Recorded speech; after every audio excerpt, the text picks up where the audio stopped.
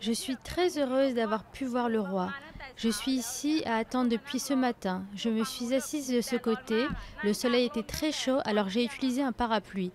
Quand j'ai vu le roi, toute la fatigue a disparu. Je suis très contente. Ça valait la peine de venir.